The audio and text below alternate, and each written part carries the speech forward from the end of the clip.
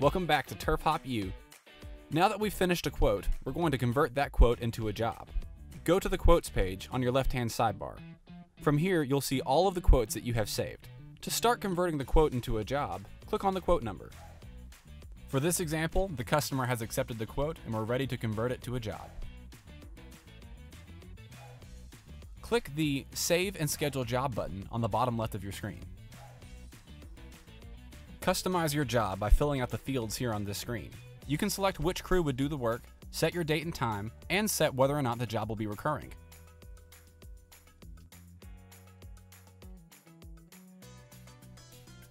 Once you click the Save and Schedule button, this job will be automatically added to your drag and drop calendar. If you need to reschedule this job, simply click and drag the event on the calendar. Once you've completed the job, open up the event in your TurfHop app or on a browser.